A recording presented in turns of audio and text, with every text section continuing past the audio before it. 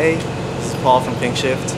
Uh, we're on tour with the Gaslight Anthem and Joyce Manor. We're in Chicago today playing the Salt Shed, and uh, I'm going to run you through some of the gear that we're using specifically on this run. So, this is one of the guitars I brought on this tour. It's the main one I've used since like the fall of 2022. It's pretty much the main one that I uh, that I use on tour. It's very light. It's uh, an Epiphone SG. Picked it up for pretty cheap at Guitar Center. Uh, it's got a little dinged up.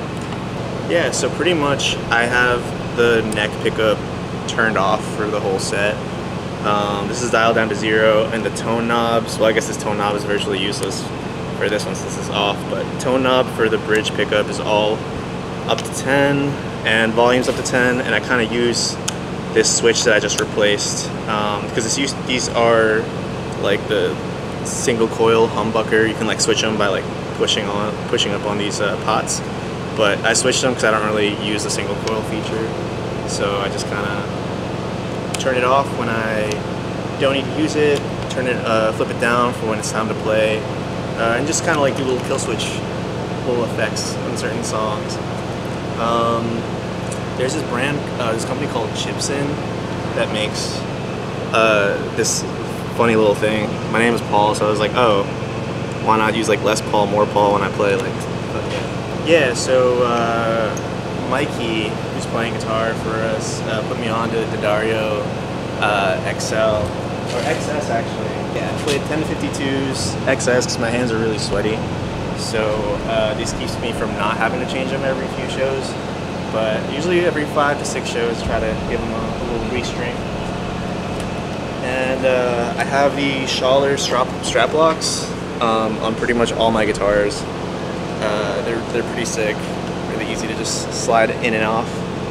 Um, and I got a little Ellis Dunes bandana that is just like really cute. I threw it on when we toured with them last year. Just put it on. I was like, damn. And uh, yeah, this is a little wireless pack.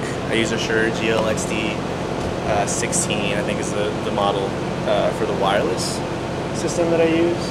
Uh, so this guitar is tuned to drop C sharp, so is the backup guitar. Um, but some songs we play are in drop E. So uh, my pedal board has a little pitch shifter that I use, so didn't bring too many guitars on this one.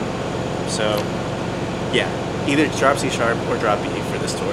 Uh, so just got this flight case earlier this year from Quantum Industries. It's actually a bass case because um, we were flying to Europe and we needed a something to put our guitars in in a pinch. So Zach from Quantum Industries hooked us up with uh, a nice little, nice little discount on this uh, Quantum Industries bass flight case. Uh, and in here we got like little pouches, store some of the like guitar uh, tools whenever we're in a pinch. In here it's got, oh here's a Shure wireless system. Install a little uh, little tools to make sure we're uh, ready to go for this show. So this is the backup guitar. It is uh, also an Epiphone SG. Uh, it's an Epiphone SG400. I'm not sure from what year it is, but uh, it's the first SG I got from like a yard sale. Um, and it made me fall in love with SGs, is why I got the gold one not too long after.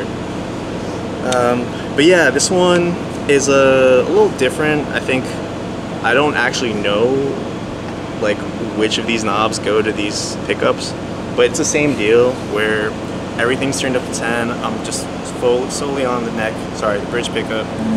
And uh, yeah, this one does not have Schaller actually. It's my one guitar, I lied, it's my one guitar that doesn't have Schaller uh, strap locks. But yeah, also tuned to drop C sharp. Um, a little bit heavy because it's uh, it's got more electronics in it. And I guess, I don't know, maybe it came from a smoke or something, who knows. But yeah, this is the backup that we thankfully have not had to use yet. So this is our little uh, pedal board, my pedal board case. It's the IEC cable to connect to it. So recently, last year, uh, I switched over to uh, Quad Cortex. Before I had like a whole digital system, ran into an EVH head, uh, 5150. Um, but because this tour is we're playing uh, big stages, uh, my little cab is not really needed.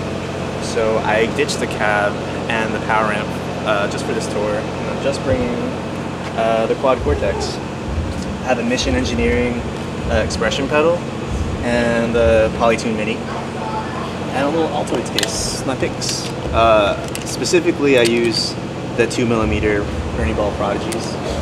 Um, this, I don't know why I have it. So uh, for this run, I actually just update, updated it to the 3.0 thing where you can use like plugins. Um, so I actually am just running the Gojira plugin uh, for the dirty sound, and for the clean sound, I think I'm using like their like Fender Deluxe Reverb like simu like sim of that, um, and just switching between those two, um, and then using like the Gojira pitch shifter, the compressor, just kind of like sprinkling sprinkling in little things here and there for that. Um, on the bottom, I have uh, I gotta figure out a better way to like keep this mounted, but on the back because I've like kind of downsized. I try to I try to hide a lot of my stuff under there.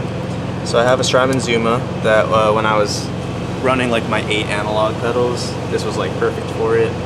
Um, and in order to power the quad though, you can't plug the quad straight into this. So I was like trying to find a little thing to uh, to make that run without having to have like two power supplies. So I run this uh, the CIOKS Crux out of um, the Strymon. You can like chain this the Zuma to like the Ojai and other little power supplies. So um, instead of chaining it to an Ojai, I don't even think that's how you say it, but I uh, plug it into the Crux and the Crux goes into the quad. So when I use the IEC cable for the Strymon, everything powers up. Nice and uh, nice and easy. Oh, this is the Shure receiver. Um, I had to like, it doesn't just mount under the Pedaltrain, this is like an old version. So I like kind of cut a little piece of wood to like have it sit like perfectly and just uh, velcroed the hell out of it. But clearly it's not working, so I gotta figure that out. Um, and uh, oh, this is a little junction box that a buddy of mine made for me. Uh, it's it's just like it's there's no electronics in it. It's just a convenient thing to have all the pedals go in and out. I don't really use it to its fullest extent right now, just because it's uh, you know got a the quad has a direct line out. But when I was running like the four cable method with the EVH, this was perfect for it. Um, so for this tour, we have like uh, a few different presets for different songs. Um, but one thing that's pretty standard is uh, I have this expression pedal that doubles as a volume pedal and a wah pedal. So when I turn it on, it's uh, automatically set to like volume expression. Uh, so I use that for swells and stuff.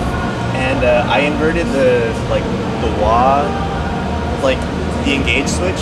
So when I click it, it turns into a wah, and I can just kind of like play around with that for solos or for any other like textural things. And if I click it back again, it turns back into a, a volume. So it, it, took me like a few minutes to figure out. That's you know, but aside from that, because um, on my on my old pedal board I had both a wah and a volume pedal, so I was like trying to get a way to include that in this like digital rig because you can't really have multiple expression pedals with the quad. Maybe you can.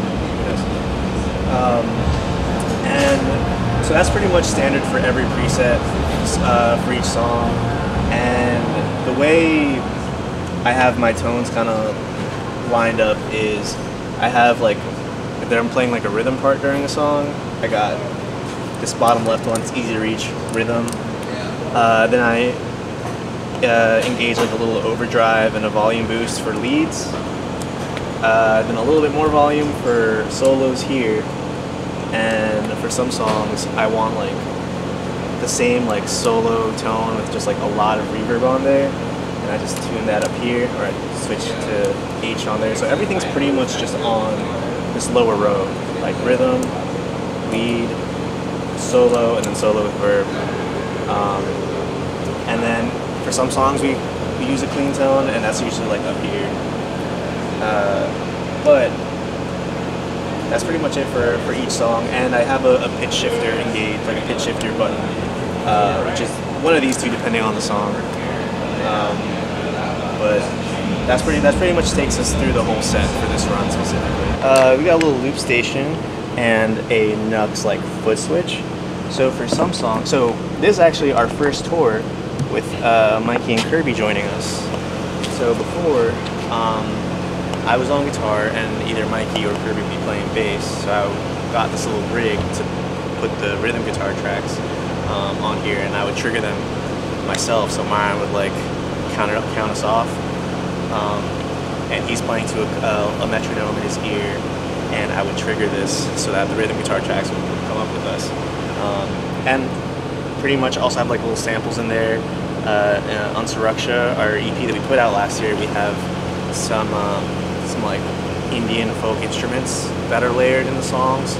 Um, so we try to bring that to our live show too. So we just kind of loaded that onto here too. So we're not using rhythm guitar tracks anymore because we got a full five-piece band. Um, but we do have like synths and pads, um, dhol, tabla uh, layered into certain songs. And uh, yeah, I made this little uh, this little plyboard, plywood, plywood board, plyboard. That's what we'll call it. Um, daisy chained into the one spot I have to find a, a better way to, to do this because when you fly through TSA and they open your bag and they see this, uh, it is not the, uh, for someone that, that doesn't know what this is, they see wires and things on a plywood and they're like, they're like, we gotta talk to you for a second. So this might have to change soon. Um, yeah, thanks for uh, watching this video and checking out the gear. Uh, just gonna play in Pinkshift. Uh, Shift MD on all socials. And um, keep an eye out for early 2025. We're gearing up to release some songs soon and potentially a tour in the first half of 2025. So keep an eye out on that.